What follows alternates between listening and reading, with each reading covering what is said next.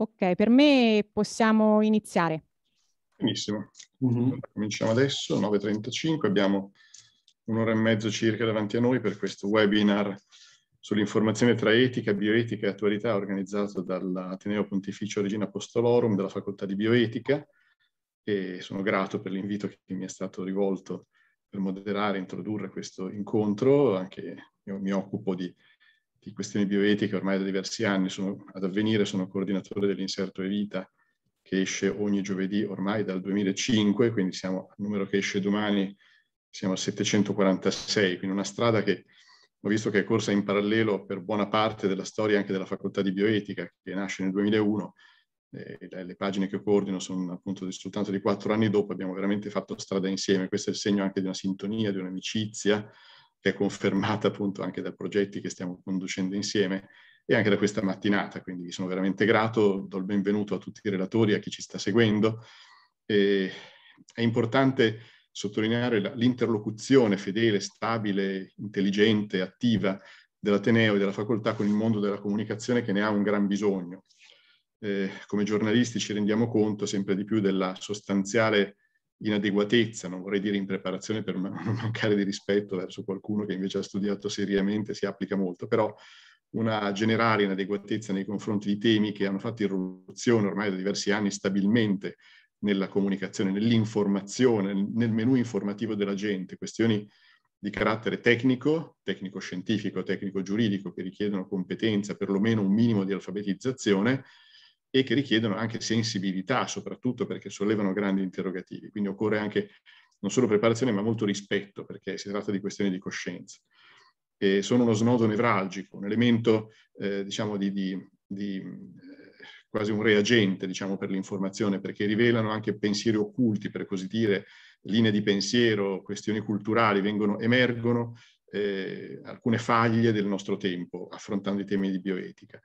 Ehm, si, è, si, sono affrontati, temo, questa è un'idea che mi sono fatto, ma penso che sia abbastanza eh, ovvia persino, questioni nuove, questioni sempre più nuove, pensiamo anche alle questioni appunto della neuroetica, anche recentemente altre grandi questioni sul fine vita, no? che sono affermate anche nella loro complessità, questioni nuove con ehm, strumenti vecchi, mi sembra, cioè strumenti che il giornalismo conosce bene per applicarli, per averli applicati, per continuare ad applicarli ad altri campi, politica per esempio, no? le, lo scontro ideologico, le, le, di fazione, la, le, appartenenze, le grandi appartenenze ideali eh, si, si, fa della bioetica un terreno di scontro e questo nuoce gravemente, si potrebbe dire, alla salute del, degli utenti perché non li mette in grado di capire la sostanza dei problemi. Sempre più spesso vedo con grande preoccupazione il fatto che la sostanza delle cose, cioè i fatti, vengono rimossi, ignorati o addirittura eh, modificati o semplicemente raccontati a metà o per un terzo, per un decimo, facendone sparire una gran parte. Ad esempio, lo faccio soltanto perché ho anche seguito in questi giorni di questo tetraplegico marchigiano 46enne Fabio Ridolfi che purtroppo è morto l'altro giorno dopo una brevissima agonia per la sospensione delle cure, il distacco dei, dei supporti vitali e l'attivazione della sedazione profonda, benissimo, tutto questo elenco semplice di, di procedure che vi, ho, che vi ho citato, che voi conoscete molto meglio di me, e che fanno parte di una legge discussa quanto si vuole, ma una legge dello Stato, la 219 del 2017, l'informazione in gran parte non le ha riportate, l'ha, raccontato come un gesto di ribellione verso la mancanza di un'altra legge, quella sul suicidio assistito. Non era così, e semplicemente il, con grande dolore, con grande sofferenza, certamente anche con un approccio molto anche aspro in alcuni punti per la sofferenza patita, il paziente ha fruito di un diritto che gli riconosce la legge, non è che ha lamentato la mancanza di un altro diritto. E, perlomeno molti attorno a lui l'hanno fatto, tant'è vero che quella famiglia ha invocato il silenzio. Ecco, però i fatti in quanto tali eh, sono stati largamente ignorati o manipolati. Questo rivela anche il fatto che molto spesso lo si fa perché non li si conoscono. Molto semplicemente ho avuto modo di verificare in qualche dibattito che colleghi giornalisti si limitano alle categorie di carattere dello scontro ideologico, laici contro cattolici, progressisti contro conservatori, rimettono in campo le figurine che, che, che sembrano funzionare così bene nello scontro sui temi di bioetica e non guardano i fatti, mentre su altri temi, da, dall'economia alla, alla, alla, politica, dal calcio persino a, a, grandi temi di carattere tecnologico, i fatti non possono essere ignorati perché sono sotto l'occhio di tutti. Non si capisce perché sulla bioetica invece i fatti vengano rimossi. Per questo è molto importante, veramente molto importante l'iniziativa di formazione dell'Ateneo e della facoltà che si, si, va a presentare oggi, a introdurre e che si andrà poi a celebrare durante il corso estivo con un modulo forma formativo ad hoc per i giornalisti, molto opportuno, perché ci pone proprio dentro il contesto in cui ci troviamo, che pone formidabili domande di carattere etico. Abbiamo due grandi temi, due grandi ambiti, che, eh, due grandi sfide che ci hanno, ci hanno, ci hanno fronte, che, con le quali abbiamo dovuto confrontarci negli ultimi anni, direi la, la, pandemia e poi più recentemente la guerra, che pongono interrogativi di carattere etico formidabili, direi ogni giorno. Abbiamo visto alcuni criteri, alcuni eh, punti di riferimento all'opera quanto siano indispensabili ed è forse opportuno che poi li, li, ne, ne, facciamo tesoro e li custodiamo. Eh, appunto la conoscenza dei fatti, perché la realtà non può mai essere rimossa, e la pandemia ce l'ha dimostrato in modo anche molto amaro, e la vita come principio primo che va tutelato, la difesa dei, delle persone più vulnerabili, lo vediamo sia nelle persone anziane durante la pandemia, sia dei, dei, delle vittime della guerra, i profughi innanzitutto, i civili, eh, l'importanza della relazione, della cura salvifica addirittura durante la pandemia, anche adesso appunto il fatto di porsi in relazione con chi fugge dalla propria terra, non soltanto per dargli una casa, ma anche per cercare di farlo sentire a casa. Il bene di tutti è raggiunto attraverso la rinuncia a qualcosa di, di, di proprio, quindi il contributo di ciascuno, nessuno si salva da solo, ecco la famosa frase del Papa e eh, il fatto che appunto la, lo scarto, come lo chiama il Papa, cioè la selezione della vita umana, l'indifferenza nei confronti degli altri, sono, risultano letali in questo momento. Su questo l'informazione e anche lo studio, anche il mondo accademico hanno una responsabilità molto grande. Eh, l'informazione perché appunto forma la coscienza della gente. Eh, non è possibile che affrontando una questione, appunto un interrogativo di carattere etico, eh, lo si percepisca come un tema che certamente ferisce la coscienza perché interpella, ma anche doloroso perché apre inevitabilmente ad uno, uno scontro, una, una, un fronteggiarsi vicendevole, spesso anche in modo molto aspro. Questo non è più possibile, credo che occorra veramente bonificare, fare un'ecologia dell'informazione. Per questo è opportuno questa mattina passo a questo punto a introdurre i lavori di questa mattinata con cinque relatori che potrebbero essere anche sei, speriamo, se riusciranno a partecipare tutti, ci aiuteranno a capire ehm, appunto quanto siano delicate le sfide di carattere etico, bioetico che ci troviamo a, a, a maneggiare in, questi, in, questi, in questo tempo così complesso, così cupo, così incerto e, e quanto, quanta responsabilità abbia l'informazione.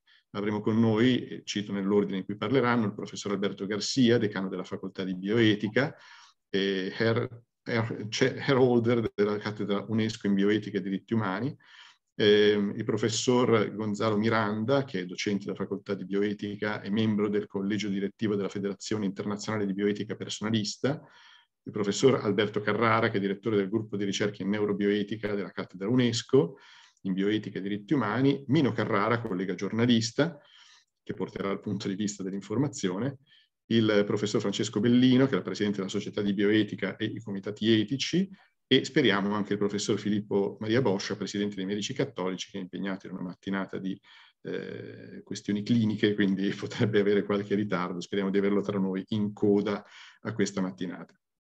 Senz'altro chiedo al professor Garcia, dopo questa, spero non troppo lunga introduzione, che sono temi che mi stanno molto a cuore e mi interpellano tutti i giorni, di illuminarci sul informare e formare in bioetica la sfida etica per i giornalisti di oggi. Professore, prego. Grazie Francesco per questa introduzione, grazie a tutti quelli che stanno facendo possibile questo eh, webinar nel quale eh, in realtà non è diciamo solo e principalmente un momento di formazione, ma soprattutto di incontro tra persone che sia del lato accademico sia del lato eh, del giornalismo e studenti o persone utenti dei eh, mezzi di informazione, eh, credo che questo incontro, che non sarà sicuramente l'ultimo, ci consentirà di creare un foro, diciamo, un, un po' interdisciplinare, un multidisciplinare, dove possiamo arricchirci, arricchirci un po' a vicenda. Se è vero che mh, l'uomo, diciamo, per la sua natura è relazionale, che entra in contatto permanentemente con gli altri, che forma la sua coscienza e la sua ehm, capacità di vivere in comunità proprio tramite l'informazione, l'educazione e la formazione, questo nelle questioni specificamente di bioetica credo che sia una sfida, una sfida oggi come oggi.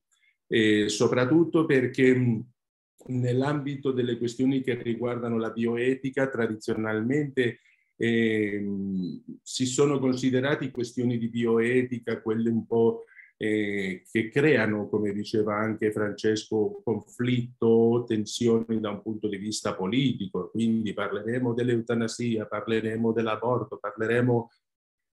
E tante volte ci dimentichiamo che anche noi del, nell'Accademia, anche i, i, giornalisti, dovremmo puntare mh, anche per una bioetica, possiamo dire una bioetica del sì alle volte anche noi possiamo cadere un po' nella tentazione nell'ambito accademico di pensare le questioni di bioetica soltanto in chiave di conflitto e, e tendenzialmente fare una bioetica del no. No all'aborto, no all'eutanasia. E purtroppo lo facciamo e alle volte con delle ragioni che non sono sufficientemente approfondite anche perché la velocità delle notizie, anche perché il ritmo della politica tante volte è così frenetico che non siamo capaci di vedere, analizzare e giudicare, questa è la metodologia della dottrina sociale della Chiesa, vedere, giudicare e agire in un modo, diciamo, ponderato, in un modo anche critico. E critico non solo per dire di no, ma anche per dire di sì. E, ehm, Francesco menzionava prima le questioni delle tecnologie emergenti, della neurobioetica, dell'intelligenza artificiale, della neurogenomica, eccetera.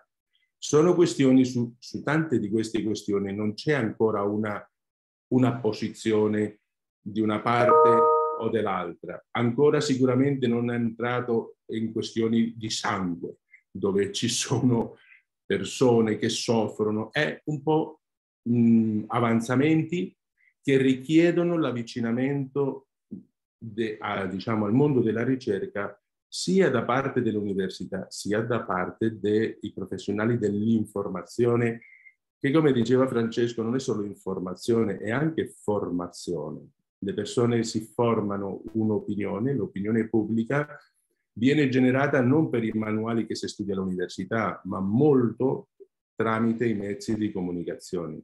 Quindi il fatto che i giornalisti fatto, possano offrire questo servizio nel rispetto dei, io direi, di tre grandi principi che servono per i giornalisti come servono per me, come servono per i dottori. Il principio della verità, il principio della libertà e il principio della giustizia. Sono tre principi molto generali, se vogliamo, però che mh, noi le dobbiamo mettere in atto in qualsiasi atto comunicativo, in qualsiasi atto di, mh, dove noi giornalisti, accademici, ci trascendiamo, entriamo in rapporto con gli altri in un clima di verità, cioè di trasparenza, eh, analogamente a quello che succede nell'ambito biomedico del consenso informato, io sto chiedendo, io medico, ricercatore, chiedo un consenso informato, cioè l'adesione libera di una persona con una informazione sufficientemente completa, vera, onesta, completa. No. Allora, analogamente, nell'ambito della comunicazione, e, e, anche noi docenti siamo comunicatori ai nostri studenti, vero? Eh, sia nell'ambito dell'università sia nell'ambito dei mass media, sarà importante come offrire quell'informazione il più completa possibile e il più analizzata possibile. Non basta solo, diciamo, essere un fornitore di notizie, ma in quale misura noi nella nostra notizia possiamo vedere i fatti, e avere la capacità di discernimento, di valutazione delle ragioni pro e con di una certa politica, di una norma giuridica, di, una, di, un fatto che è successo in un ospedale o che è successo in un, in un laboratorio, in modo tale che non si tratta di filtrare i fatti, ma di illuminare i fatti in un modo critico e ragionato. E questo non solo per le questioni classiche della bioetica che creano conflitto, ma per esempio per queste questioni del futuro che ancora non si decide, non ci sono norme giuridiche e dove noi comunicatori, docenti, possiamo forse offrire degli elementi di valutazione, eh, diciamo, in modo mh, mm, eh, opportuno nel tempo. E, ehm, e dall'altra parte io credo che un'altra sfida dei mezzi di comunicazione, come anche nostra nell'università, è non solo come costruire una bioetica del sì, di sostenere l'avanzamento scientifico-tecnologico, di assicurare che le persone che si occupano della, della, ricerca possano avanzare per il bene personale, anche per il bene comunitario, ma come noi ci occupiamo anche delle questioni che incidono sulla vita e la salute delle persone più necessitate, in più necessità, i più vulnerabili, i più poveri. Oggi sappiamo c'è questa agenda, questi 17 principi di obiettivi di sviluppo sostenibile come politica e priorità da parte delle Nazioni Unite. E questo, questo anche viene riscontrato in Laudato Si, eh, nel pensiero anche del Magistero della Chiesa, cioè la crisi ecologica senza precedenti di cui parla Papa Francesco è quella che anche i rappresentanti delle nazioni trovano a livello mondiale. Come noi con la nostra formazione, con la nostra informazione, possiamo sensibilizzare alle famiglie, al mondo del lavoro, al mondo dell'economia, al mondo della politica, per occuparci di quelle cose, per minimizzare il problema della fame, della povertà, della salute di bassa qualità, le differenze, diciamo, e le ingiustizie mh, e, in diversi campi. E queste cose purtroppo non non sono notizie tante volte, però sono bisogni fondamentali della società.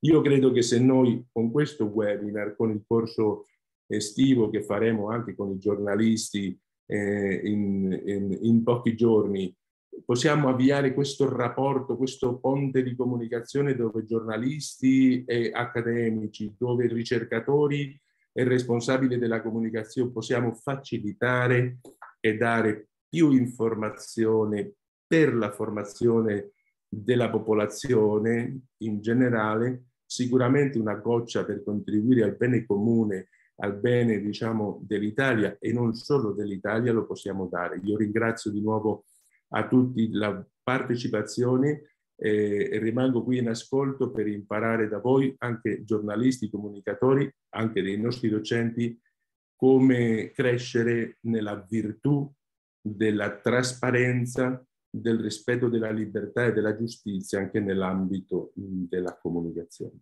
Tante grazie. Grazie, grazie a lei professor Garcia, decano della facoltà di bioetica, chair holder della cattedra UNESCO in bioetica e diritti umani, perché ci ha dato una, un quadro introduttivo eh, ampio delle, delle, sfide che, io lo dico dal punto di vista di noi giornalisti, ma ci stiamo confrontando con l'ambito accademico, quindi di questo possibile dialogo e ponte che mi sembra molto opportuno, mi sembra veramente un'iniziativa necessaria adesso, non soltanto per gli elementi di fatto che citava, cioè la questione proprio della, della conoscenza, della sensibilità, ma anche per rendere consapevole la categoria del, di chi fa informazione, che quindi è una grandissima responsabilità, di ciò che ha tra le mani, cioè una materia delicatissima nella quale deve muoversi secondo questi criteri che diceva, cioè verità, libertà e giustizia, essere la trasparenza, la completezza dell'informazione, cioè riuscire a rendersi conto che sono veramente ehm, eh, elementi nevralgici per la, per la, conoscenza che la gente può avere, per la sua capacità di fronteggiare questi, questi grandi temi davanti ai quali molto spesso si sente smarrita e tende a ascoltare la prima voce apparentemente credibile che sente, oppure, come purtroppo stiamo vedendo, anche un po' l'eco mediatica di una informazione un po' monocorde, ma perché vedendo come, come si svolge il flusso dell'informazione, molto spesso si prende per buona una fonte che domina un po' sulle altre, spesso interessata, e si copia.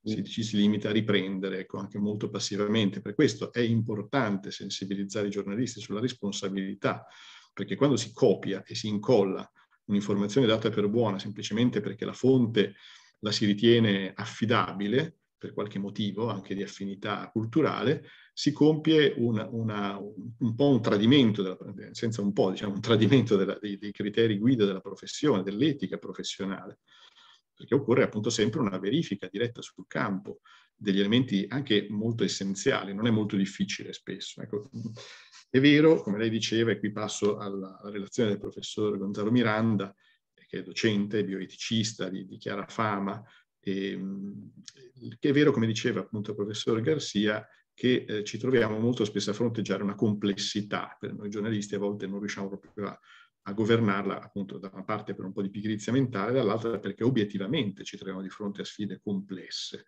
complesse davanti alle quali eh, stessa, lo stesso mondo scientifico è diviso, non, non si trova un, una, un'opinione prevalente, un criterio di, di, riferimento affidabile, per cui si va un po' a tentoni e a volte si sbanda e si prende un giudizio così un po' che, che sembra essere affidabile e in realtà non lo è, anziché eh, assumere un atteggiamento più prudente e anche più, più, corretto, cioè sospendendo il giudizio, mettendo in mano ai lettori, agli utenti dell'informazione gli elementi per dire dobbiamo ancora camminare, dobbiamo ancora crescere in questa, nella formazione del giudizio. Chiedo al professor Gonzalo Miranda di spiegarci nella sua relazione che si intitola Bioetica e Mass Media, un rapporto inevitabile e complesso, proprio questo tema di come fronteggiare la complessità. Grazie, professore.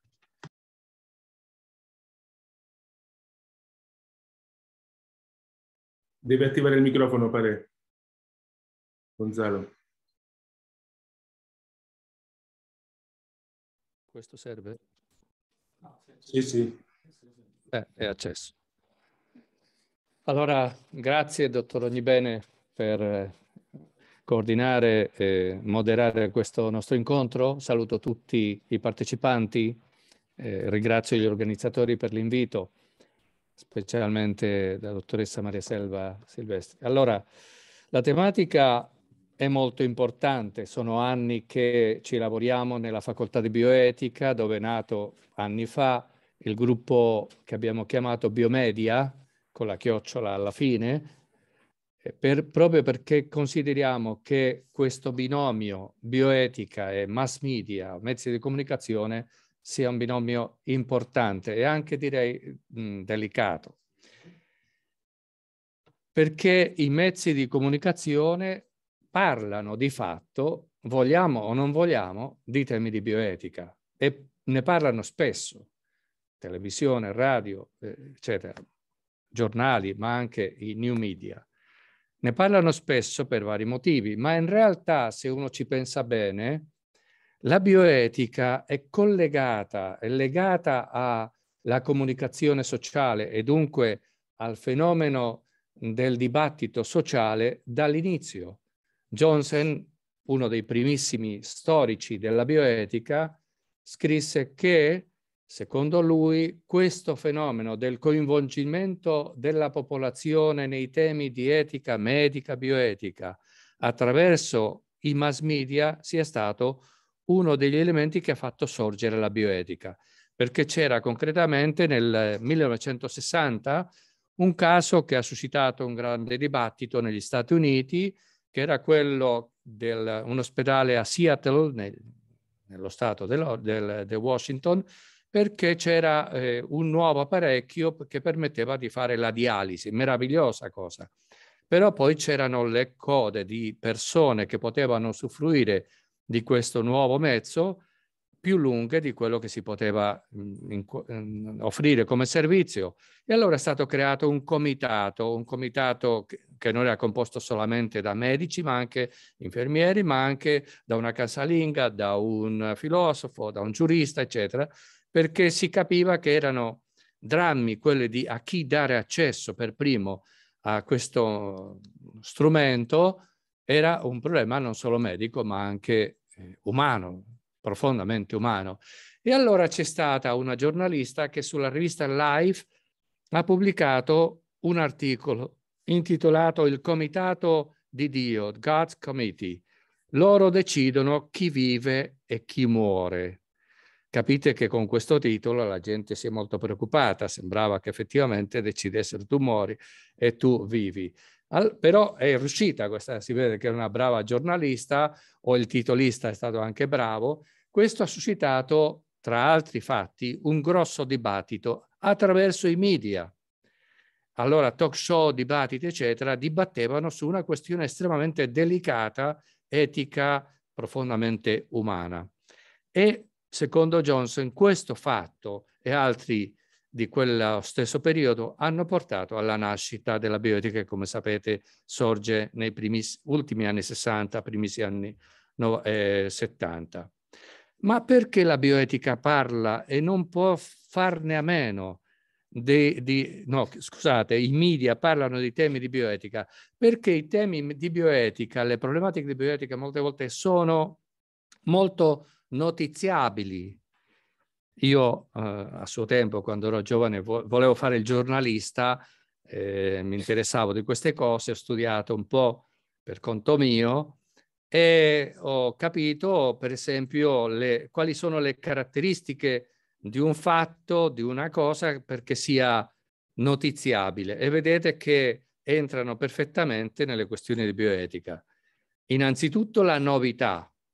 Una cosa nuova suscita interesse di per sé, perché siamo animali curiosi, noi esseri umani. E allora molte volte i temi di bioetica hanno a che fare con nuove ricerche, con nuove impostazioni, con nuove scoperte, con nuove invenzioni, con nuove leggi, eccetera. E dunque novità, ecco, notiziabile. Il rilievo, il rilievo cioè l'importanza del fatto del personaggio che interviene nella notizia, eccetera. E molte volte qui è soprattutto il fatto che ha un rilievo perché si tratta di cose che toccano la nostra vita. Stessa cosa interesse umano eh, della, de, del fatto che lo fa diventare notiziabile, perché in bioetica sono eh, problemi, problematiche, fatti che toccano tutti noi. Se non tocca a me direttamente, è toccato un vicino di casa, un amico, un conoscente che ha avuto anche a che fare questo, con questo o potrebbe un giorno soffrire di questa nuova scoperta della medicina, eccetera, eccetera. E poi la prossimità. E qui la prossimità è un elemento molto importante. Se eh, il famoso cane che morde il bambino, il bambino eccetera, questa è la cosa rara, ma se questo avviene nel mio paese diventa notizia, se avviene a Hong Kong magari non mi è tanto interessante. Però eh, succede che anche se molte volte le notizie che ci arrivano, che vanno sulle prime pagine dei giornali, non sono vicine a noi nel senso fisico più stretto, però sono cose che poi riguardano noi o riguarderanno noi in un futuro molto probabilmente. Allora succede, ecco, che eh, la, i temi di bioetica sono notiziabili e voi giornalisti eh, non aspettate altro che trovare un fatto notiziabile eh? siete dei cani da caccia di notizie, questo lo vediamo tutti i giorni. E allora succede che anche il tema del Covid, di cui si parlerà anche nel, in quell'incontro che avremo nei primi di luglio, e il tema della guerra adesso in Ucraina, sono eh, connotati da queste caratteristiche, sono molto notiziabili. E allora, ecco, si vede intervenire moltissimo i mezzi di comunicazione su queste tematiche, il che eh, indica che, che, ci danno un servizio perché sono cose che interessano tutti, però sono tematiche molto complesse. E allora succede che molte volte su queste, queste tematiche delicate, vitali nel senso più letterale della parola, che toccano tutti noi, a volte possono eh, venire offri- offerte le notizie o le opinioni in maniera, in maniera mm, pro- problematica, indiscutibile, diciamo così. Ci sono spesso dei bioeticisti accademici che si lamentano di come eh, certe notizie, certe questioni vengono messe sui mezzi di comunicazione con troppa superficialità, con errori, con preconcezioni, eccetera. Diceva eh, il dottor Ognibene del rigore nel dare le, il dato di, il giornalista che offre i dati, eccetera. Io ho pensato, l'ho detto tanto tempo fa in una tavola rotonda al Gemelli, se un giornalista della sezione sportiva confondesse la Champions League con la Europa League, beh, sarebbe mandato via la sera dello stesso giorno oppure sarebbe mandato alla sezione di bioetica o di religione dove non è tanto grave confondere le cose. È una battuta, però per dire come spesso eh, appunto gli accademici bioeticisti che stanno lì mesi a riflettere su una questione, a dibattere, eccetera, poi vedono come vengono fatte certe cose sui mezzi di comunicazione. Viceversa, eh, i comunicatori spesso lamentano che noi bioeticisti non siamo o disponibili per comunicare, per aiutare nella comunicazione nei grandi media, o non siamo capaci di farlo. E allora mm, non ci possono invitare, non possono usufruire magari della nostra conoscenza perché non siamo capaci di parlare davanti a una telecamera in un dibattito o, o di scrivere un articolo che sia leggibile e comprensibile. Allora si crea un, un conflitto, ci sono autori che hanno studiato abbastanza approfonditamente questo conflitto, conflitto tra bioeticisti accademici e eh, il mondo della comunicazione di massa. Ma una cosa che mi sembra importante è questa, eh, capire che questa difficoltà che vede questi due mondi, mondi bioetica e mezzi di comunicazione come se fossero due individui che sono costretti a frequentarsi, per così dire, questa difficoltà non è estrinseca e dunque non si può pensare, vabbè, cambiamo questo, cambiamo la natura della bioetica o cambiamo la natura dei mezzi di comunicazione e ci sarà pace, ci sarà tranquillità. No, non è possibile perché è una questione intrinseca alla natura di queste due realtà, alla natura dei mass media e alla natura della, della bioetica, delle questioni bioetiche. In che senso? Per loro natura i giornali e altri mezzi di comunicazione prestano un'attenzione che necessariamente, direi quasi per eh, definizione, è fugace, è transitoria, perché il giornale va giorno per giorno e domani deve parlare d'altro. È transitoria pertanto e eh, per lo stesso motivo tante volte l'informazione diventa superficiale, eh, diventa troppo leggera. Io mi ricordo una volta partecipai, partecipavo all'epoca parecchio a Rai 1 a 1 mattina e va bene, normalmente c'era un po' di tempo per la discussione, per presentare la propria visione. Una volta era, per una serie di motivi, siamo slittati verso la fine, cioè alla fine pra- praticamente della, del programma di una mattina e allora hanno detto vabbè comunque entrate ed era un dibattito sull'eutanasia tra un esponente della Chiesa Valdese e me. Dunque una questione anche diploma, diplomatica, una questione di rapporto tra religione, tra confessione, eccetera. E dice, eh, purtroppo stiamo finendo una battuta a testa. Ha fatto lui una battuta, io ho fatto un'altra battuta, in due minuti abbiamo finito. Io ho detto, ma cosa puoi fare in due minuti per parlare con un esponente di un'altra confessione eh, cristiana su una questione così delicata? Allora, in quel caso è stata una situazione un po' estrema, ma per definizione, per, per natura, i mezzi di comunicazione, soprattutto giornali, televisione, eccetera, vanno a, a giornata e dunque purtroppo danno eh, le cose in maniera che per chi è addentro la, alla questione eh, sembra troppo superficiale, a volte anche un po' banale. Non, oltre al fatto che si cerca l'emotività, si cerca anche la polemicità, se c'è polemica meglio che se siamo tutti d'accordo, eh, voi giornalisti conoscete molto bene questi meccanismi. E la bioetica da, da parte sua nella sua natura, eh, al contrario, tratta di temi spesso molto complessi. Già il fatto in sé è difficile da capire magari dal punto di vista strettamente medico, ma come sapete la bioetica interdisciplinare, non si fa solo con gli aspetti medici o filosofici. Allora hai già la complessità intrinseca al dato tecnico, medico, biologico, ma poi deve aggiungere la questione legale, deve aggiungere la questione sociale, psicologica, deve aggiungere la questione filosofica tante volte, addirittura a volte anche teologica. È chiaro che questo non lo puoi trattare in maniera, direi anche decente, in, con superficialità. E allora troviamo questa difficoltà, ma eh, d'altra parte questi due mondi convivono e devono convivere e per noi bioticisti è molto importante per una serie di motivi, studiati anche da qualche studioso, che i temi di bioetica siano nella piazza pubblica perché c'è questa dimensione sociale che è costitutiva della bioetica stessa. Ecco, finisco con questo.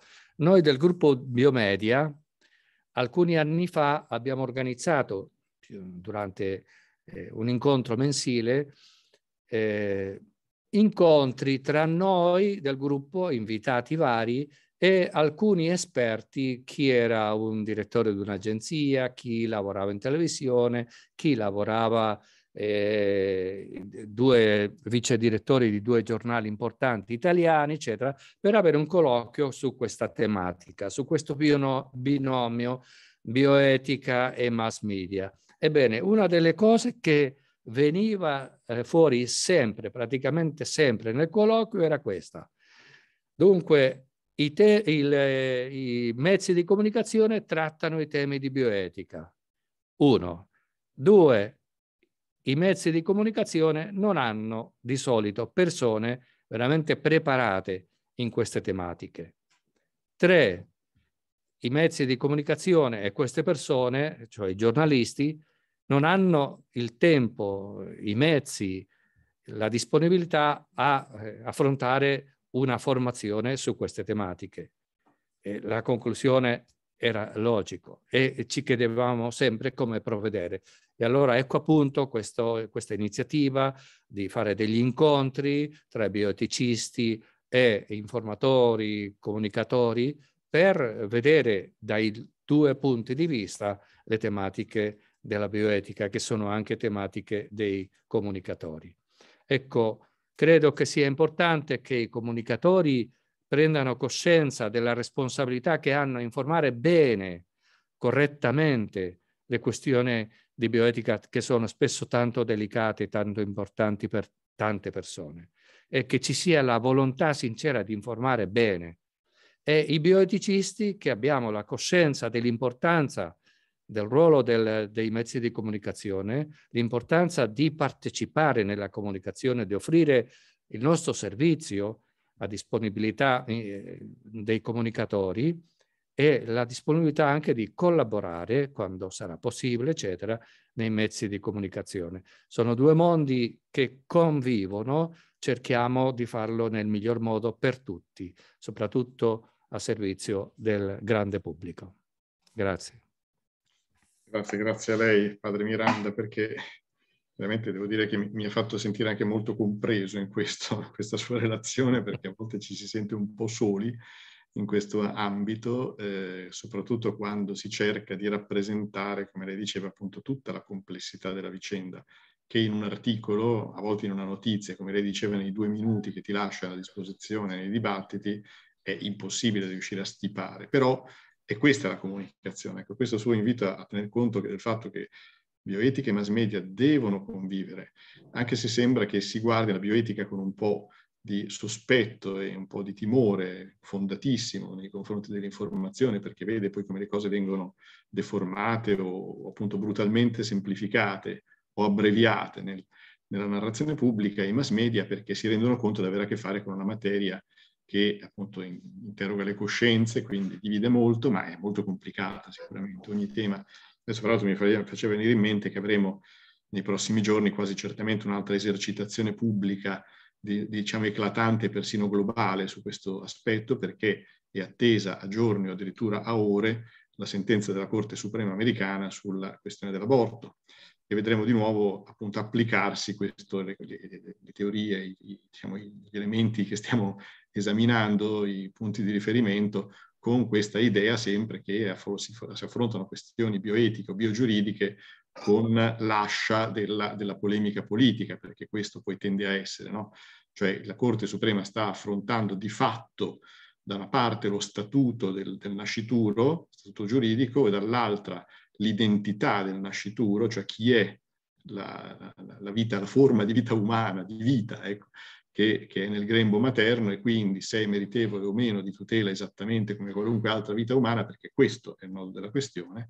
Sono curioso di vedere se qualcuno lo coglierà, perché nel momento in cui la Corte Suprema dovesse schierarsi da una parte o dall'altra, tenderà naturalmente a prevalere una narrazione di carattere politico, no? Per cui anche la, la, riflessione che mi viene da fare è che adesso rilancio al professor Carrara, ehm, professor Alberto Carrara, eh, che parla appunto di infodemia, cioè di eccesso persino di informazione, eh, anche non richiesta su questi temi, che è un po' paradossale, e se non, non, accade persino il paradosso per cui alla fine ad accostarsi nei mass media a questi temi non soltanto non sono le persone competenti che introdurrebbero elementi di, chiamiamola, insopportabile complessità, quasi, quasi come, come, se fosse eh, in, incompatibile con, con, lo strumento mediatico, ma addirittura vengono messi, appunto, come diceva, persone che si occupano d'altro molto spesso e che hanno criteri di valutazione molto diversi e mh, attenzioni molto diverse tendono anche per necessità, diciamo così, di bottega, a far prevalere gli elementi emotivi,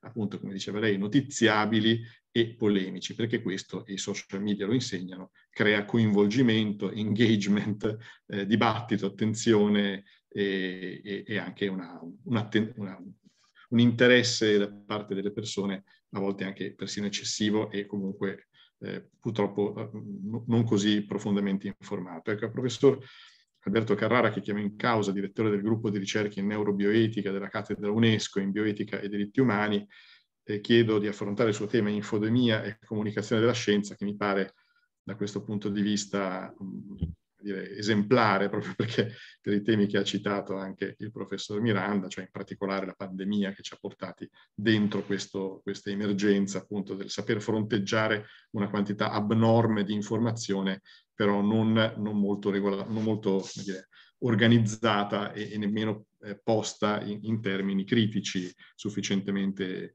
eh, aperti appunto a un, dibattito vero. Ecco. Professore, prego. Bene, buongiorno a tutti.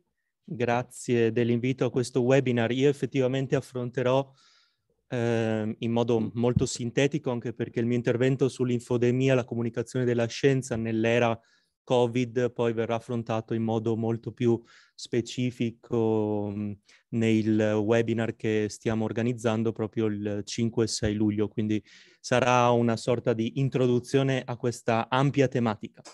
E potremmo dire così, l'Organizzazione Mondiale della Sanità effettivamente definì così l'infodemia e poi la descriverò in cinque fatti dice così, il vero virus globale è quello per cui nessun vaccino arriverà mai. Di cosa stiamo parlando con questo termine infodemia? Io direi che se da una parte il termine pandemia eh, lo avevamo da sempre collocato in un ambito molto specifico che era quello medico-clinico, oggi pandemia risulta un termine polisemico.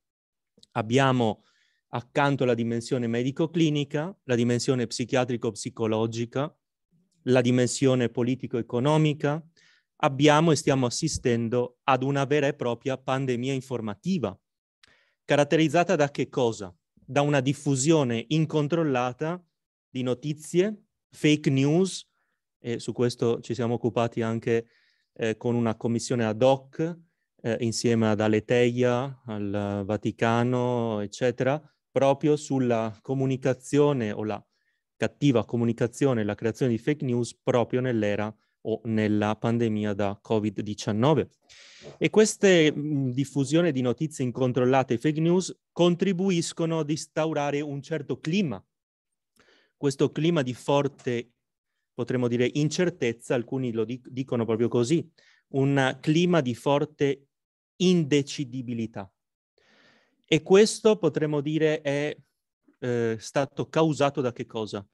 Da quello che è anche il filosofo italiano, poi professore di filosofia dell'informazione a Oxford, Luciano Floridi, definì proprio un surriscaldamento di quella che lui chiama l'infosfera globale. E io descriverei un po' eh, questo percorso che tocca proprio il tema, come diceva il dottor Ognibene, delle emozioni alla fin fine, in cinque fatti. Il, fi- il primo fatto è proprio uno scombuglio, potremmo dire così, l'essere travolti da eventi, notizie, ritardi, distorsioni, fughe di notizie, un po' quello che è accaduto nei primi mesi, anzi potremmo dire dalla fine, da dicembre 2019, gennaio e febbraio del 2020. Questo è un po' un primo fatto. Il secondo, questo surriscaldamento dell'infosfera creato dalla condizione pandemica, dal virus stesso, e poi da tutto quello, dalla narrativa attorno a questo virus. L'impossibilità durante il lockdown di avere esperienze dirette delle cose che hanno slegato e hanno segnato che cosa? Il ritorno, qui poi i comunicologi mi correggeranno, ma alcuni autori parlano del ritorno di quella potenza dei mezzi di comunicazione tradizionali come la televisione. E lì, ecco, un potere quasi assoluto a che cosa? Alla funzione testimoniale degli opinion leader vari, pochi virologi, molti parassitologi e di tante altre specializzazioni.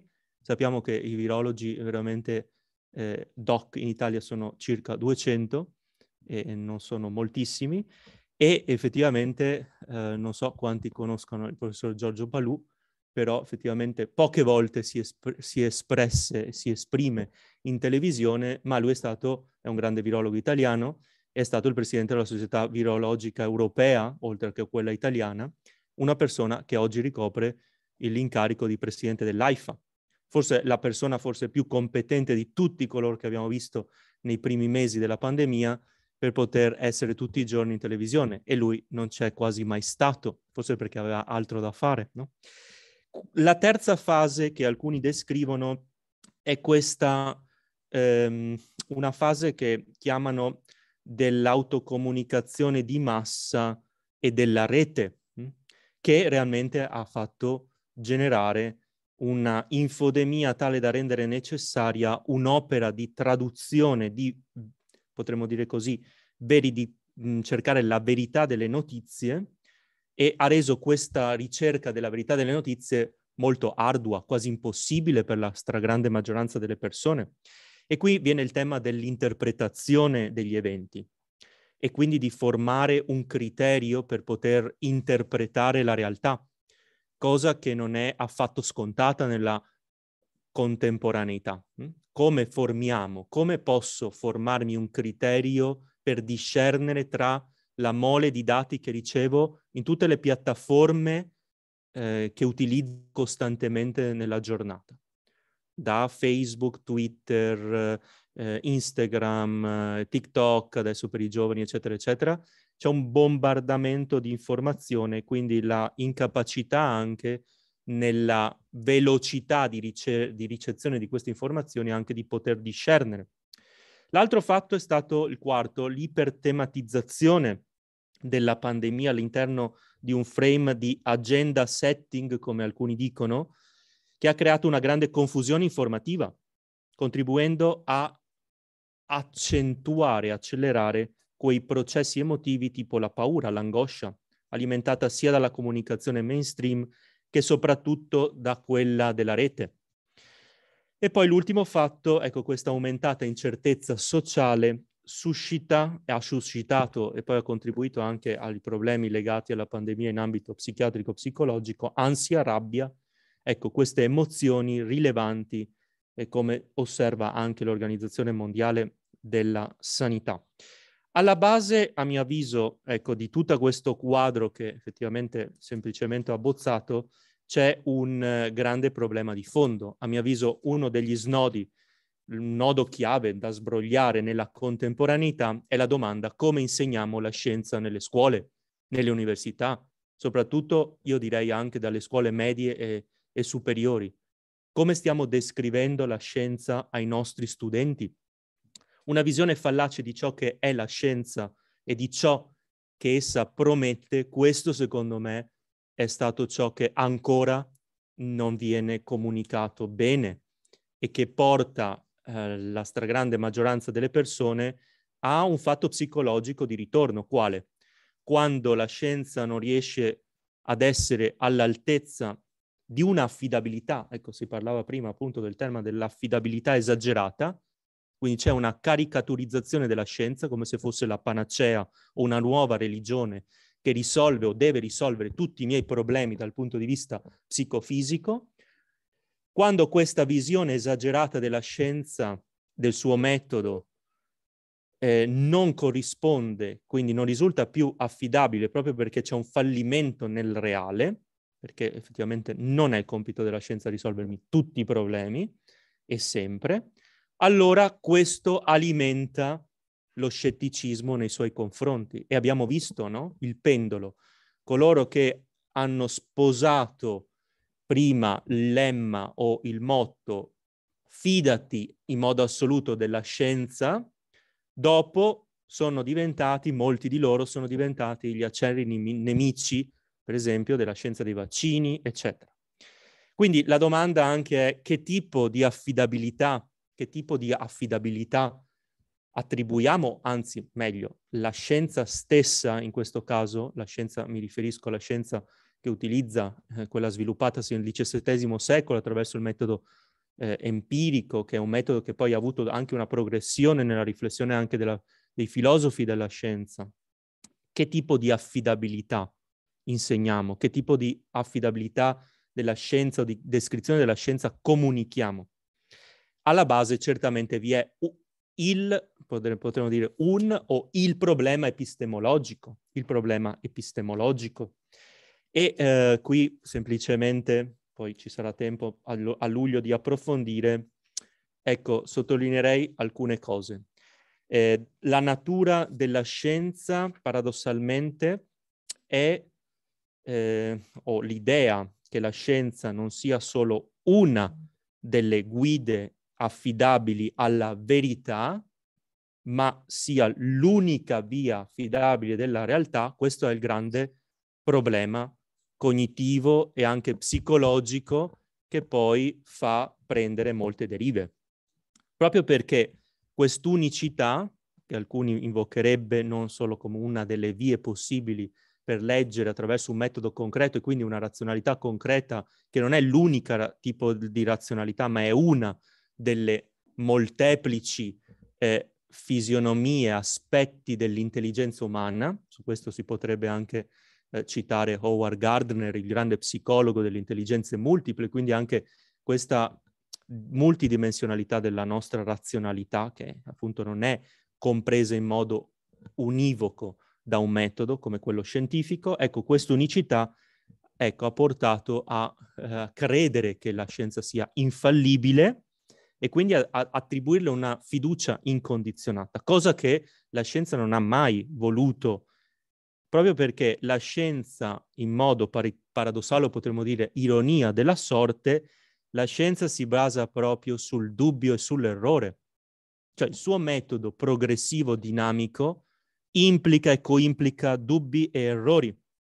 La stessa scienza dei vaccini non ha mai preteso, almeno nei, come Costituzione, diciamo anche a livello come scienza dei vaccini, in questo caso anche dei vaccini anti-Covid, non ha mai preteso di essere senza pecche, senza errori. Mm? La stessa analisi, la stessa review dell'anno scorso di Nature, dove mette tutta la storia dei vaccini dalla scoperta dei vaccini RNA messaggero, dalla scoperta dell'RNA messaggero negli anni 60 ad oggi, fa vedere una pletora enorme di scienziati, di studiosi, ognuno con la propria storia, biografia, con i propri conflitti anche umani. Quindi nella scienza non tutto è geometrico, non è, non è matematica, ci sono anche interrelazioni umane importanti. Quindi ecco, questa visione perfezionista della scienza non corrisponde al proprio metodo. Un autore diceva, in fin dei conti, sia coloro che esaltano la scienza, sia coloro che la disprezzano, inseguono la certezza di un universo incerto. Li anima un'intolleranza nei confronti degli errori quasi calvinista. Essi vorrebbero un mondo fatto di distinzione nette fra bianco e nero, dove la possibilità di sbagliare non è contemplata. E questa effettivamente è la narrazione sbagliata, non corretta di che cosa è la scienza. Nella scienza l'insuccesso non è un'opzione, non è un'opzione, ma un requisito. Quanti, da quanti insuccessi sono sorte poi grandi scoperte. Quindi no, l'insuccesso non è un'opzione, è un requisito. La scienza non è incompleta solo a volte, lo è sempre. Cioè nel progresso del metodo scientifico c'è sempre l'incompletezza, no? Le teorie, le ipotesi, eccetera, poi abbiamo la verificazione, poi la falsificabilità, eccetera, eccetera. Quindi la scienza non è incompleta solo a volte, lo è sempre, lo deve essere. E quindi la scienza in un certo senso, mi è piaciuta questa frase che ho letto, la scienza in un certo senso ha il compito di rendersi obsoleta, sempre, hm? sempre. E quindi diventi in un certo senso scienziato, e con questo ho concluso perché mi manca proprio un minuto, diventi scienziato quando sei capace di guardare qualcosa che pensavi di aver compreso, di aver capito, e giungi a dire non è così, non è corretto c'è qualcosa che non quadra, no? Ecco, questo è, a mio avviso, il dinamismo e anche l'essenza, che poi si potrebbe sviluppare molto di più, eh, di ciò che dovremmo insegnare nelle scuole e che purtroppo non è molto spesso così. Una radice profonda di questo fenomeno, in parte, è aver abdicato a quella cultura o quel connubio, eh, potremmo dire, quella necessità di tessere un ponte tra quelle che Charles Percy Snow, questo grande fisico e letterato inglese, già nel 1959 nella sua Red Lecture, caricaturizzava il, lo scenario contemporaneo come una frattura tra due isole, no? il mondo scientifico, tecnoscientifico da una parte e il mondo umanistico dall'altra. Effettivamente allora l'aver abdicato uh, in parte a questo connubio, questa sintesi invece ehm, non solo produttiva, ma questa intrinseca eh, potenza, perché sono diciamo delle dimensioni della razionalità umana, quella umanistica e quella tecnoscientifica, ecco che non dovrebbero scontrarsi opporsi in antitesi, bensì dovrebbero complementarsi a vicenda, l'una dovrebbe aiutare l'altra. Ecco allora eh, che questa radicale abdicazione eh, fa sì che eh, ci sia una incapacità oggi di interrogarsi criticamente sulla realtà e per questo secondo me anche questi webinar e quelli successivi e tutto il tema anche di come comunicare la scienza, la bioetica, le informazioni in ambito medico-clinico, eccetera, è importante per eh, formare almeno questo senso critico. Poi c'è anche il tema della povertà del tempo per ragionare, no? che va collegato a tutto il tema della velocità con cui riceviamo l'informazione oggi.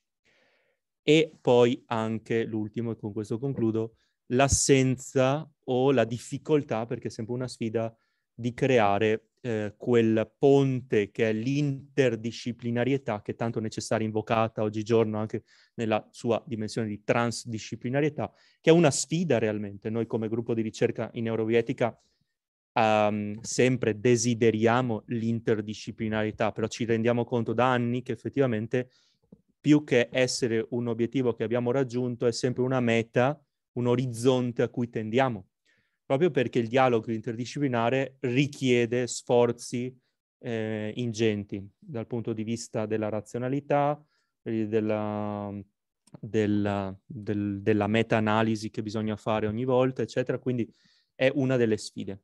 Quindi ecco, con questo ho dato alcune linee su quello che poi vedremo e approfondiremo ulteriormente nel mese di luglio. Ringrazio tutti per l'attenzione. Grazie professor Carrara.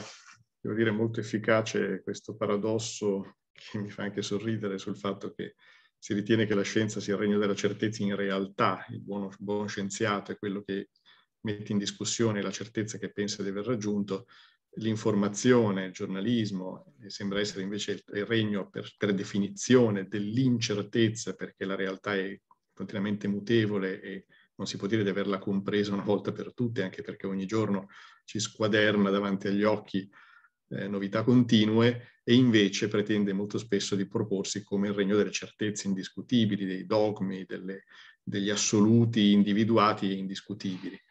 E questo forse meriterebbe appunto sicuramente, ed è il compito che si è assunto il gruppo interdisciplinare appunto su bioetica e informazione, ma senz'altro anche questo corso estivo che, che l'Ateneo e la facoltà vanno a fare, occorre che appunto ci si metta un po' in discussione a vicenda, ci si contagi in modo che questo, l'idea della domanda, che poi quella che caratterizza anche l'opinione pubblica, che cosa siamo noi come utenti di informazione se non persone che si fanno domande dal mattino alla sera di fronte a quello che accade. Ecco, quindi viviamo in una incertezza esistenziale, forse in cerca affannosa di qualcuno che una certezza ce la dia e quindi ci aggrappiamo in questa alluvione di informazioni al primo che sembra saperla lunga o proporsi come personaggio autorevole in qualche modo. Però Ecco, sono temi che vorrei girare al collega Mino Carrara, proprio perché il giornalista vive sulla sua pelle costantemente tutti i giorni questo, questo senso di inadeguatezza, di incertezza, ma anche la pretesa di aver capito tutto e di dire ecco le cose stanno così.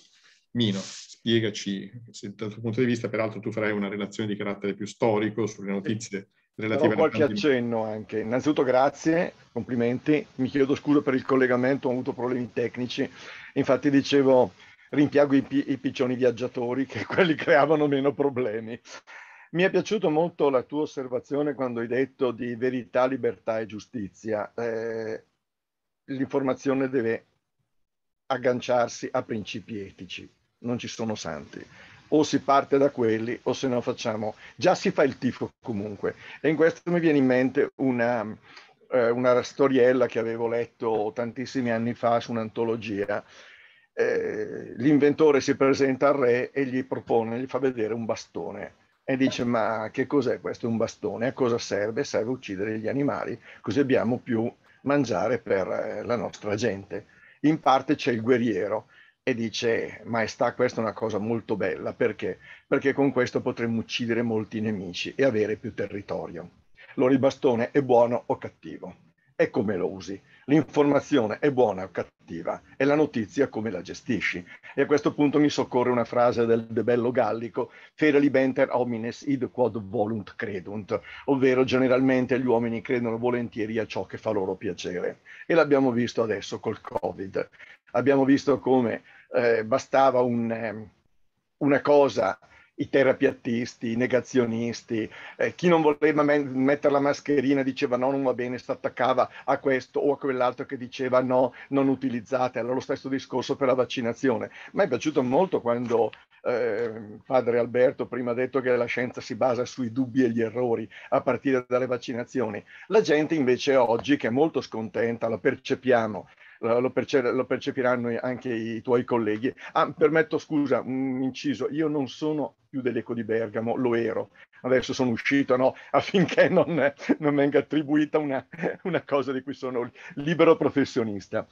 Eh, dicevo, quindi c'è questa, questa questa situazione di, di eh, incertezza e si aspettavano, quelli che come me hanno creduto nella validità del vaccino, eh, si aspettavano che il vaccino risolvesse tutto. Purtroppo il vaccino ha risolto gran parte delle cose, ma non ha risolto tutto. Speriamo anche lì far capire che guarda che questa è una malattia tipo influenzale, pertanto il vaccino è completamente diverso ogni anno, eh, a maggior ragione anche in questo caso.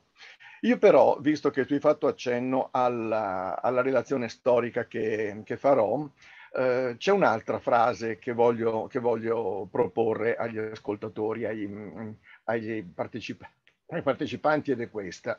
I medici non bastavano a causa della loro non conoscenza della malattia, visto che la curavano per la prima volta, ma proprio loro, in modo particolare, morivano quanto più si avvicinavano i malati. Questa frase potrebbe essere stata tranquillamente tolta da qualsiasi giornale uscito anni, nel, nel 2020. In realtà è di 2500 anni fa. La scrive Tucidide nella guerra del Peloponneso. Allora, niente di nuovo sotto il sole. Questo Eh, è vero, avevano mezzi diversi, però quanti medici sono morti? 200 medici sono morti a curare e c'è ancora oggi gente che dice che i medici curavano male.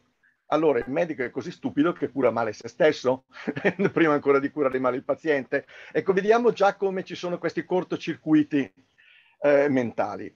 Un'altra cosa eh, che ci racconta ancora Tucidide, per esempio, è la diffusione del morbo che arriva via mare con le navi, arriva dal, dal Nord Africa e arriva ad Atene.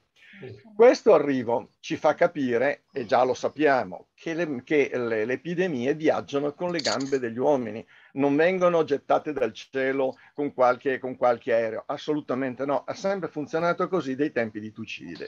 Ma quando risalgono le prime malattie, le prime epidemie, beh, è interessante anche questo, perché nel 1500 a.C. troviamo un dio della peste tra gli egizi allora se c'era un dio della peste vuol dire che esisteva, un concetto, che esisteva una malattia contagiosa, anche perché il concetto peste poi viene utilizzato eh, in, molte altre, in, molte altre, occasioni. Mm, prima di dare il nome effettivo alla malattia peste, c'è un aspetto morale nella, nelle, nella epidemie ed è l'aspetto più terribile perché in tutta la malattia lo sconforto assaliva le persone, quello che abbiamo visto durante la, la pandemia.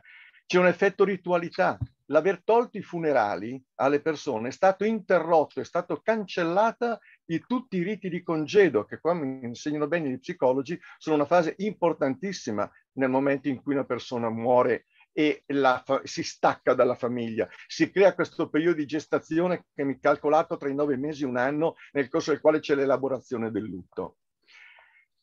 Il, le pestilenze sono state moltissime nella storia, ma perché ho detto le, le, pestilenze che hanno cambiato la storia? La nostra società oggi, non l'ho detto mille volte, usciremo migliori. Io gente migliore non l'ho vista molto, ho visto gente molto arrabbiata. Migliore speriamo che lo sia in futuro, al momento assolutamente no.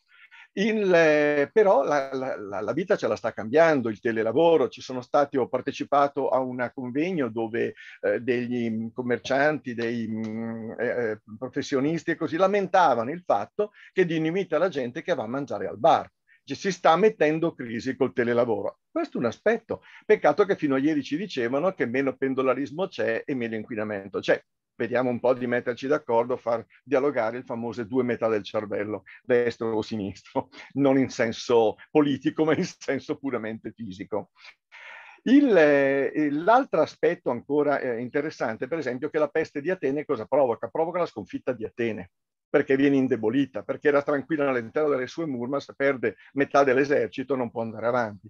Un effetto analogo ce l'ha la peste degli Antonini, che colpisce l'impero romano nel III secolo viene indebolito, incamerano i germani nelle, nel, nell'esercito, l'esercito romano incomincia, passami il termine, non a imbastardirsi, ma a inquinarsi, la società romana perde, siamo ancora lontani dal, dall'accaduto dell'impero, però incomincia a non gettarsi questi semi che non riesce più a fronteggiare queste popolazioni che arrivavano. Per non parlare della peste di Giustiniano, che indebolisce anche quella l'impero eh, romano d'Oriente. Ma c'è un passaggio, questo molto interessante, che ho scoperto ancora ricercando qua e là, nel mondo musulmano.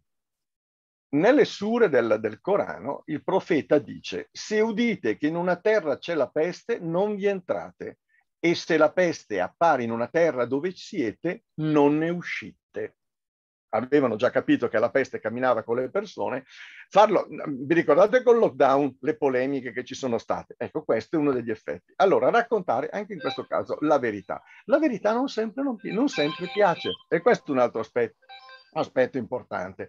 E su questo si innesta un'altra cosa, si innesta tutto il, il, chiamiamolo fenomeno, non lo so, lì la chiamerei la piaga delle fake news. E qui, mh, lo dico da giornalista, lo, mi rivolgo agli editori, noi dobbiamo prendere una posizione nei confronti di questo proliferare nei media, perché non è possibile che io o te facciamo un'informazione falsa, finiamo davanti al tribunale, finiamo davanti agli organi di giustizia disciplinare dell'ordine, rischiamo di essere radiati, rischiamo la censura, rischiamo condanne pecuniarie, questa gente impunemente diffonde il falso. Quindi con un discorso di responsabilità, perché la libertà è un conto, la libertà di dire, noi abbiamo la libertà di dire come loro, ma noi se diciamo cose non vere siamo sanzionati, perché questa gente non è sanzionata e non è sanzionabile, si nasconde dietro a uno pseudonimo, si nasconde dietro, si nasconde. Questa è la cosa, perché uno, un giornalista ha il coraggio delle sue azioni, dice e esce e firma,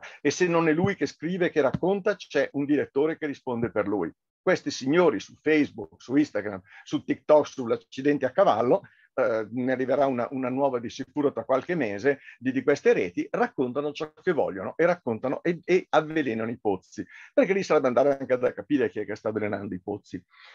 Chiudo eh, ricordando altre due pestilenze importanti, perché così lascio spazio anche ad altri. Le due pestilenze molto importanti, una la peste nera del 300, che parte dalla Cina, guarda caso ancora una volta parte da lì, e viene portata con le navi commerciali di Genova e di Venezia e questa, eh, quella famosa perché raccontata da Boccaccio e raccontata e che poi nella quale trova la morte Laura Noves, la mitica eh, donna ideale di, di Petrarca. E, mh, questa, questa, peste eh, blocca, ehm, impoverisce le città, per raggiungere la popolazione del, 1300, del metà del 1300 devono passare 100 anni eh, nel 1460, quindi se non c'è uno stravolgimento questo, Siena, per esempio, si impoverisce, non termina la costruzione del Duomo. Quello che vediamo noi è un braccio del transetto, non è tutto il Duomo, figuriamoci che doveva essere il Duomo. Ci sono tra l'altro il portale, il facciatone, ci esiste, però questa è stata una delle, delle conseguenze.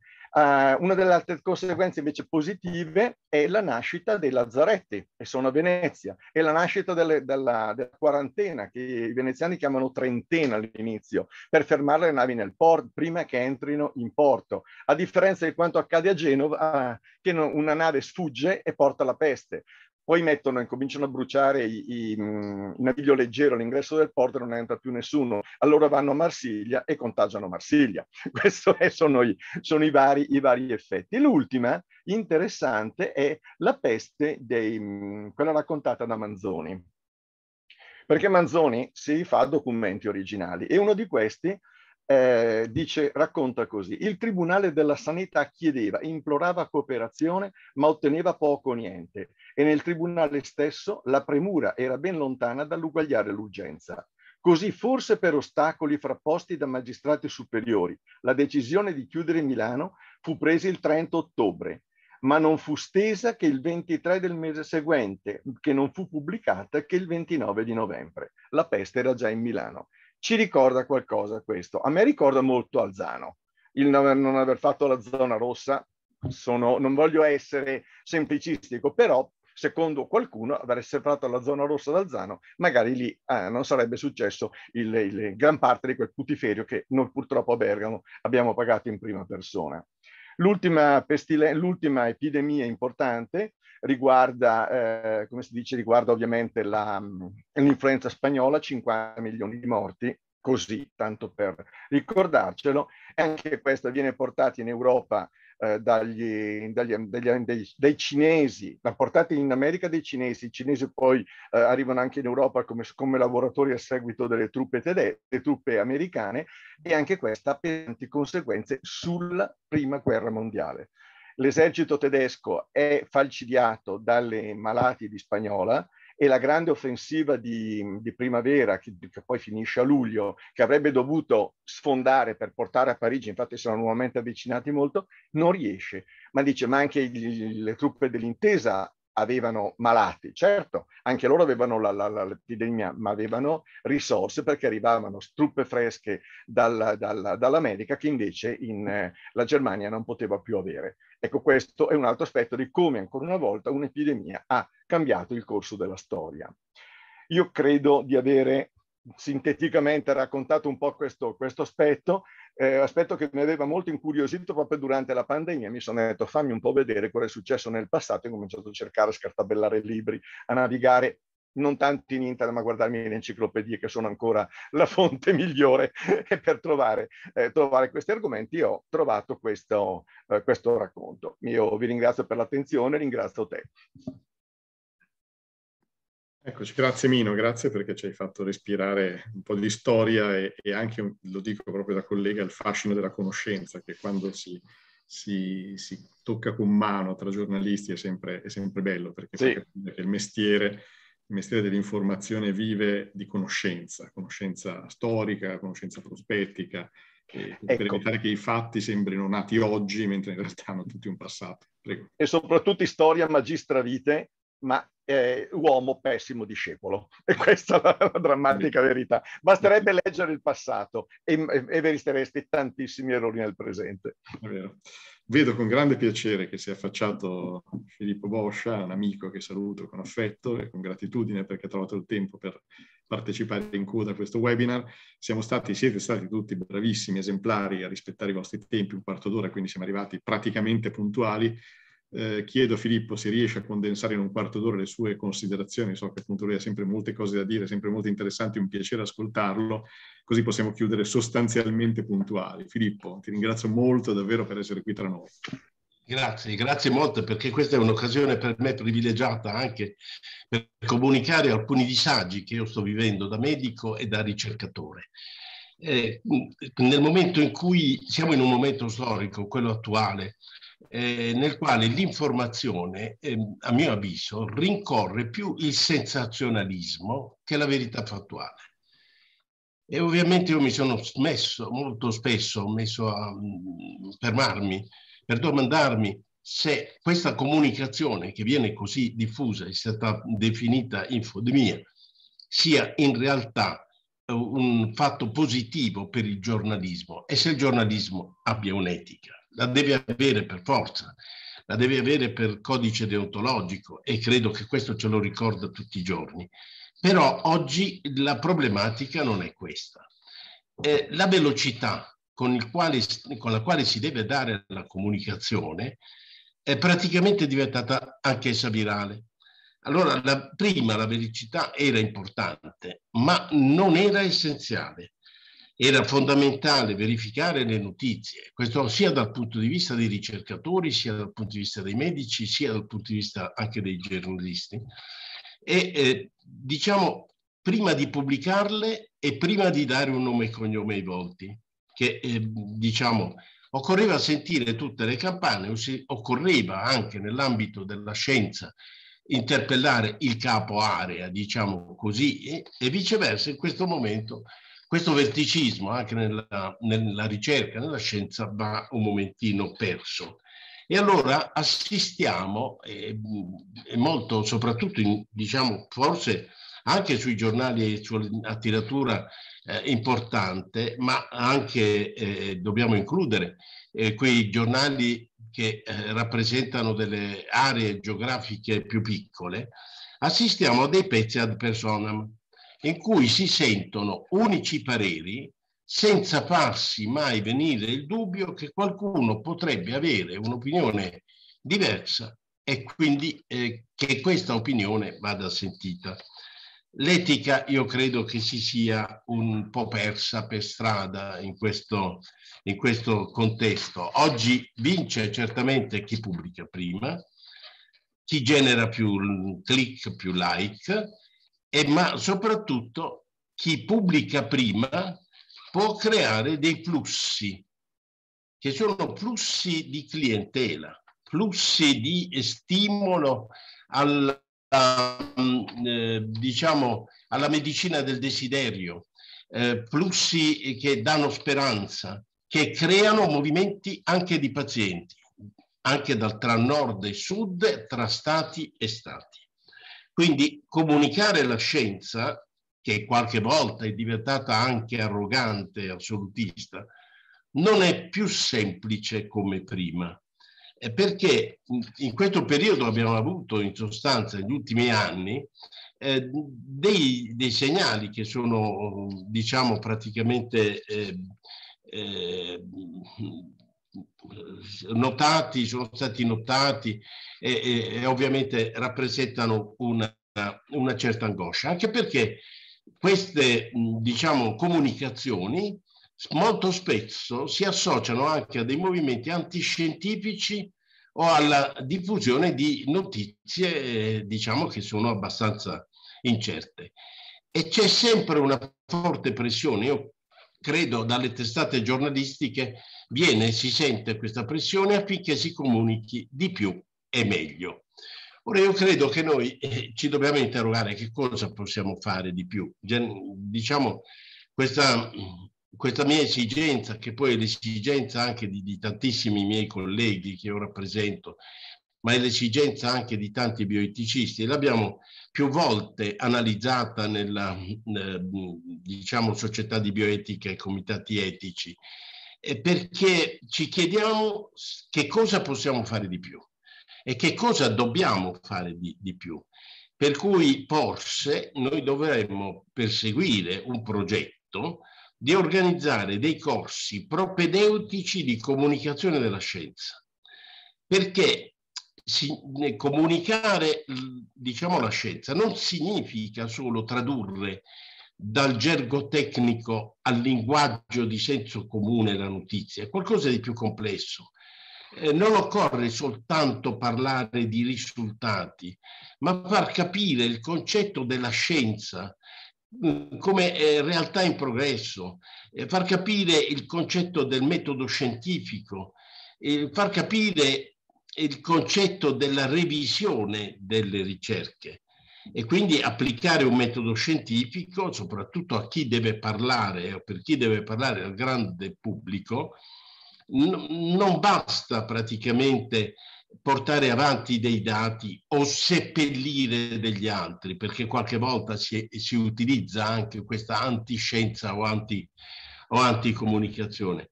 Ma noi dovremmo entrare dentro diciamo, la problematica dell'evoluzione della scienza, non portare soltanto una narrazione dei, eh, dei fenomeni.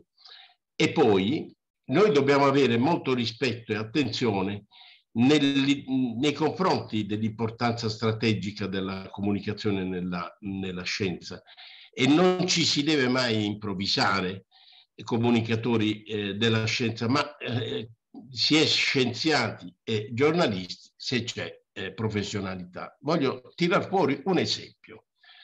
Qualche anno fa pagine dei giornali sono state riempite perché un preparato nuovo, innovativo, un antiormone, poteva essere usato per risolvere i fibromi dell'utero. Quindi sono venuti fuori forse una quarantina di articoli. Attenzione, non c'è bisogno più di operarsi perché in taluni centri che sono stati autorizzati alla ricerca su questo si danno soltanto delle compresse, delle pillole e tutto si risolve. Ovviamente questo ha creato un disastro fin quando praticamente l'Organizzazione Mondiale della Sanità e altre agenzie abilitate a comunicare anche gli effetti collaterali, hanno detto attenzione perché ci sono delle necrosi epatiche che evolvono anche purtroppo in eh, diciamo, necessità di trapianto epatico. E qui qualcuno ha detto, ah ma no, ma se lo stesso farmaco viene usato per interrompere la gravidanza ai cinque giorni, ma perché ci preoccupiamo se d'altro canto questo farmaco che crea l'aborto ai cinque giorni è dispensabile in farmacia addirittura senza ricetta medica? Grandissima confusione in questo senso.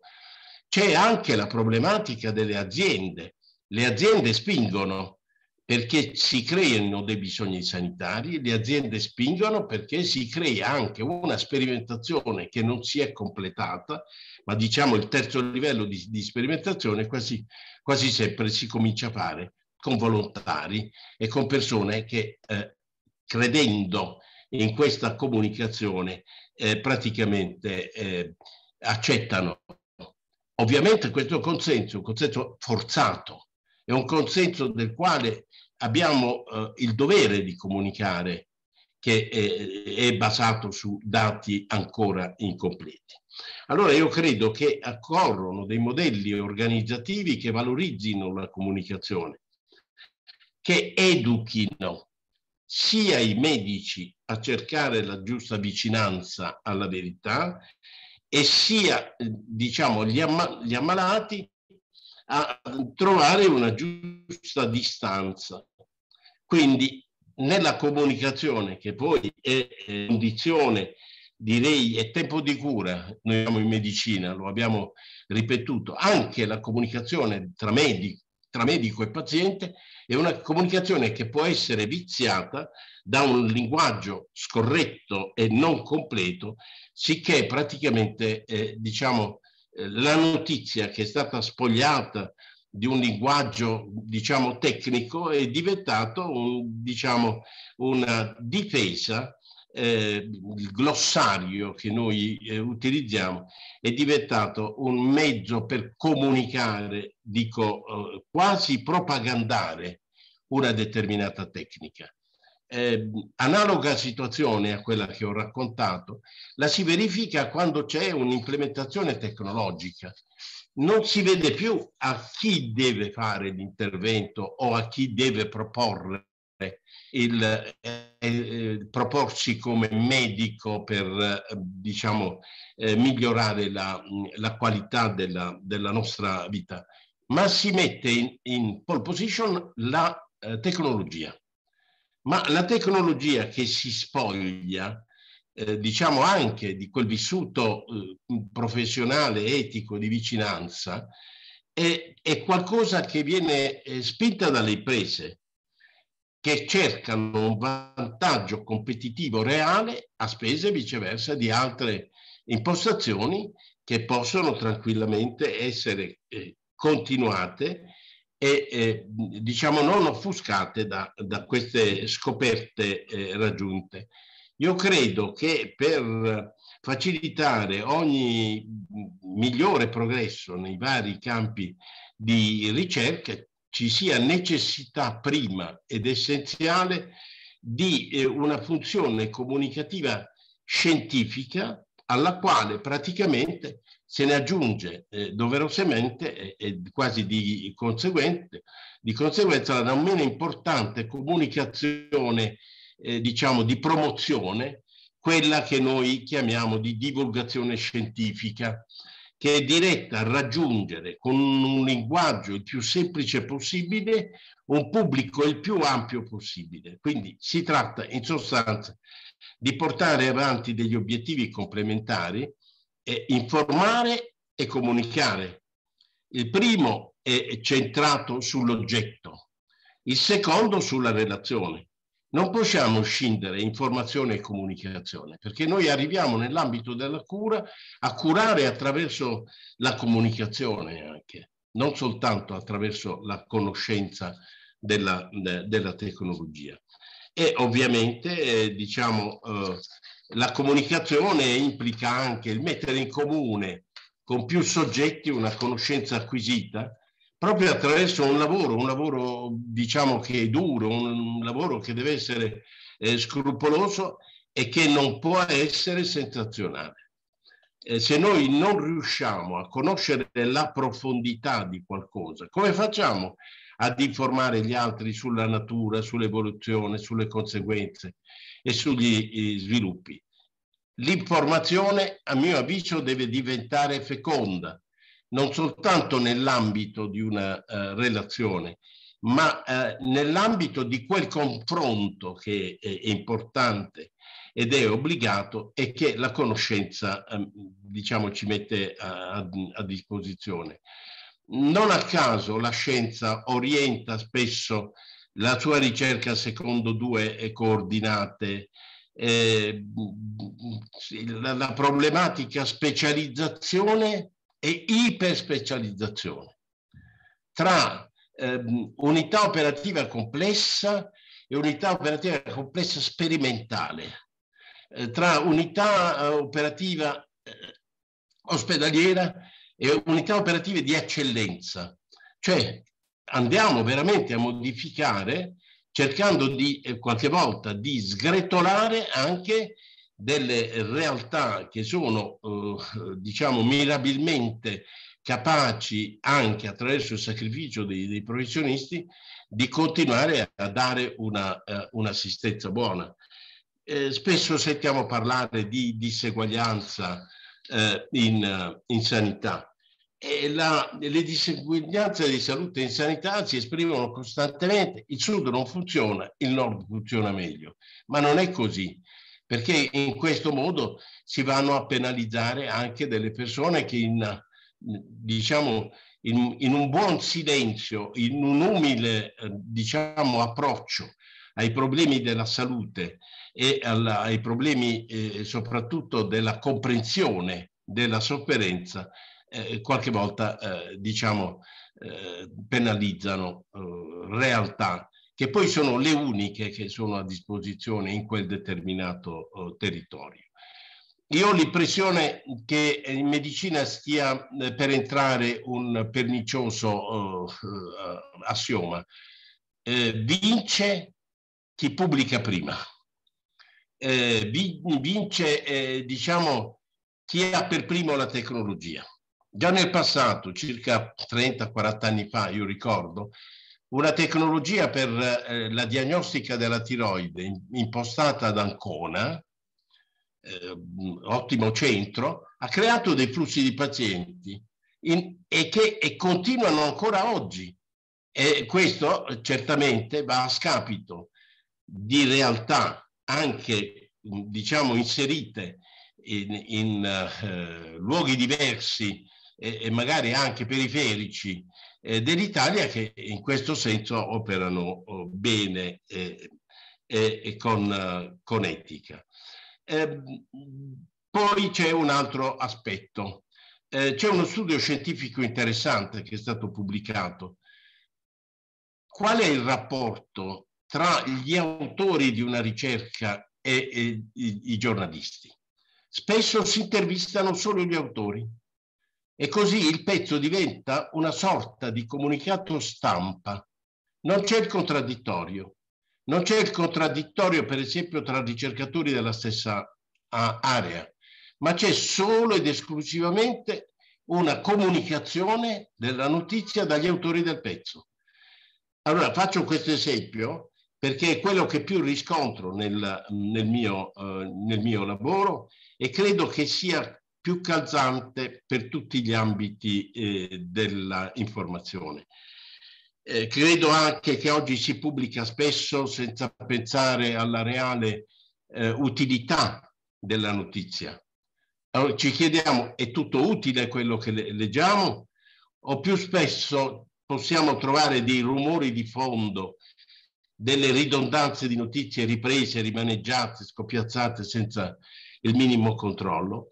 Il rischio è che in questo inutile eccesso di notizie, un po' come il, il WhatsApp, sfugga quella notizia che invece è quella più utile, perché è sovrastata da tutte le altre, quindi praticamente esce, esce di campo. E io credo che le fake news che dilagano, eh, diciamo, oh, possano avere questa eh, origine eh, e questo accade perché il giornalismo non ha saputo fare da argine, anzi spesso è diventato vittima. Durante il periodo della pandemia da coronavirus eh, sono emerse anche delle altre eh, ombre sull'informazione. Poca voglia di approfondire, minima conoscenza di come si leggono gli studi scientifici, la ricerca del sensazionalismo con microfoni che sono stati sempre accesi su virologi, infettivologi di turno, che non hanno detto mai la stessa cosa. Ognuno ne diceva un altro. E allora, ecco, forse noi dovremmo ritornare sia per i ricercatori, sia per i medici, sia eh, per, eh, diciamo, i promotori di tecnologia eh, avanzata a ridefinire che cosa significhi eh, deontologia, che è un termine già coniato nella prima metà del, dell'Ottocento, significa letteralmente studio del dovere, eh, dal, dal, greco eh, deon, eh, logia. Eh, l'etica da ethos è proprio quella branca della filosofia che indaga su questi comportamenti umani eh, di fronte ai concetti del bene e del, ehm, e del male. Eh, è importante che questi elementi vi, mh, siano un momentino eh, risottolineati, soprattutto proprio da noi, anche attraverso questi incontri che stiamo facendo e di quali io ringrazio eh, tantissimo eh, l'Università eh, Regina Apostolorum, eh, perché eh, l'informazione scientifica è essenziale. Con il dottor Arosio e con tutti gli altri amici abbiamo chiesto, vorremmo che si radicasse sui singoli territori, ma soprattutto in luoghi di, di, di eccellenza di formazione, eh, questa eh, diciamo, eh, realtà del giornalismo scientifico di verità. Perché spesso eh, diciamo noi il giornalismo scientifico, è tutto il giornalismo scientifico.